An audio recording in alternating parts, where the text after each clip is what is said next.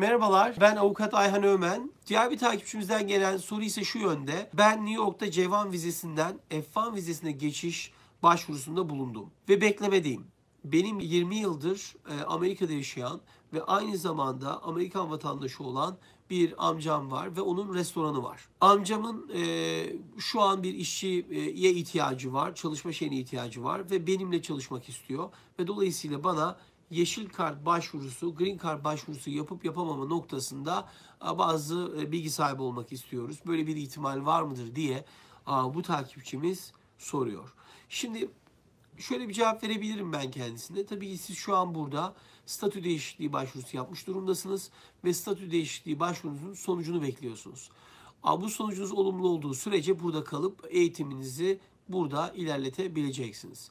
Eğer amcanızın e, bahsettiğiniz işletmesi size başvuru yapmak istiyorsa yeşil kart için teknik olarak buna başvuru yapmasında bir engel yok. Önemli olan birkaç şart şunu diyebilirim.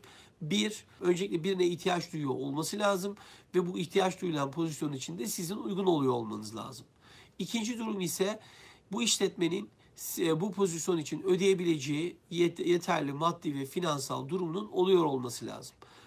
Üçüncü olarak ise şunu söyleyebilirim. Sonuçta bu tip işletmeler başvuru e, yeşil kart sponsorluğu yaparken aile bireylerine yapamazlar diye bir kayda yok. Fakat aile bireylerine yaptıkları başvurularda ön inceleme durumu artıyor olacak. Dolayısıyla bu noktada e, diyelim İş ve İşçi Bakanlığı evet bu kişi e, işveren ve işte çalışacak kişi arasında bir aile bağı var. Dolayısıyla acaba burada gerekli e, dikkatli çalışmalar yapılmış mı? Gerçekten bir Amerikalı bu pozisyon için aranmış mı, aranmamış mı diye inceleme başlatabilir ve bu incelemesinin sonucu eğer e, şeye kanaat getirirse evet bu noktada bu pozisyon için Amerikalı birini bulamadığı için biz e, diyebilir ki biz izin veriyoruz bu işletmeye hatta akrabalık bağı olan kişiye e, iş e, teklifinde bulunabilsin ve onu ona yeşil kart verip kendisiyle çalışmasına imkan sağlayabilsin e, diye adım atabilir. Dolayısıyla burada dikkat edilmesi gereken hususlar bunlar.